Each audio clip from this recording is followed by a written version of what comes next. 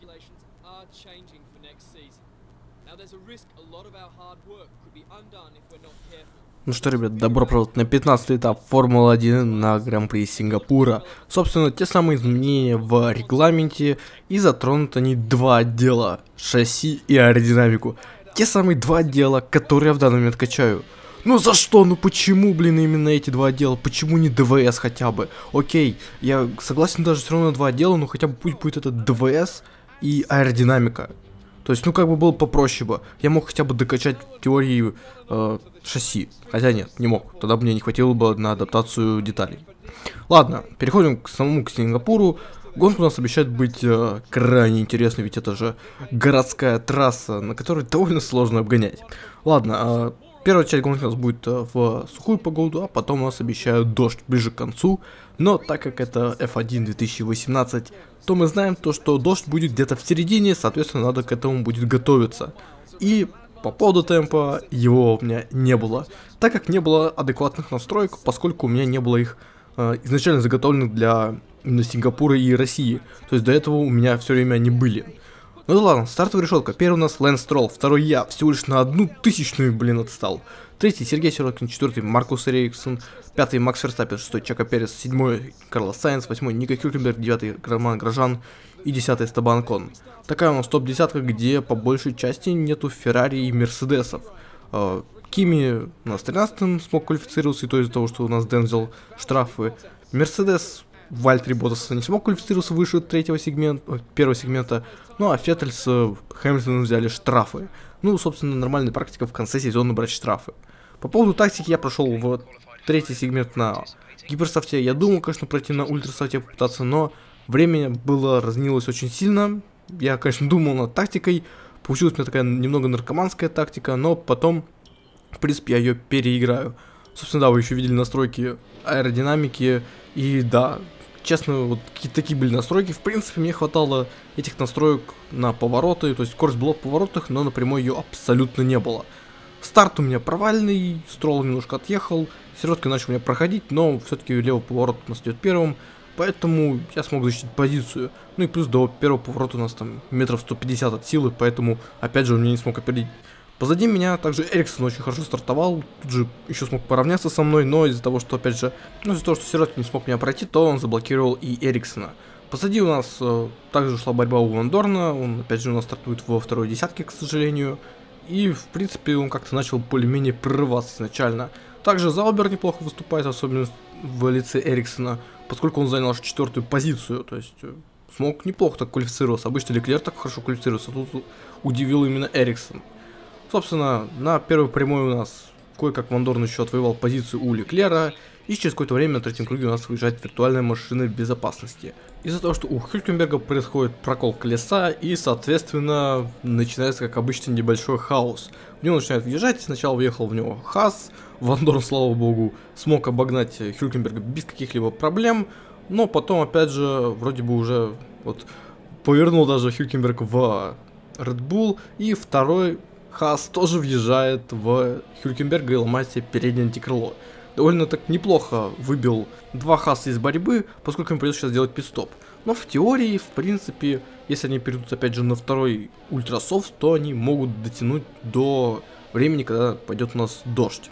Собственно, до этого времени у нас происходит какая-то еще борьба, также еще Кими на том же кругу сходит с дистанции, не ведет Фину, из-за этого он собирает такой небольшой паровозик позади себя, который идет еле-еле кое-как. И причем, кстати, было видно то, что Хас даже не поехал на пидстоп с поврежденным передним антикрылом.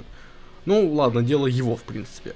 Потом на пятом кругу мне инженер предлагает сменить немного стратегию, поскольку шины у меня немного начали плавиться постепенно, хотя это не так, как было в первых сезонах Формулы-1, когда здесь реально 2-3 круга ты проезжаешь на гиперсофте, и он уже буквально просто плывет.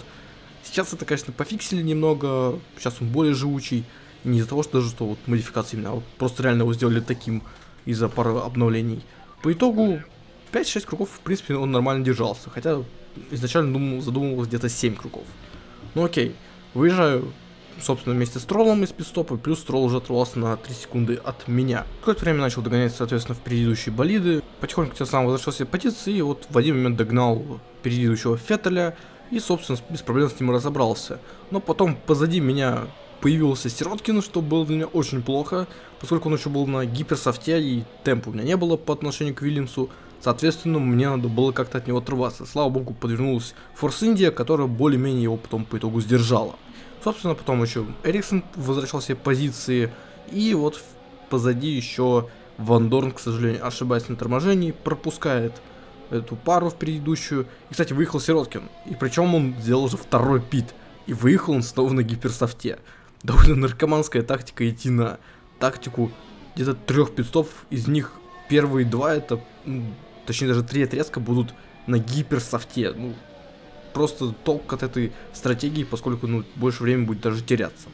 На 14 кругу у нас уже пошел дождь немного, начали капать капли. Я решил, окей, сделаю ранний питстоп. Я знаю, чем это заканчивается обычно, когда еще не появляется надпись, то, что ДРС запрещено и гонка переходит в дождевой режим. Но все же решил рискнуть.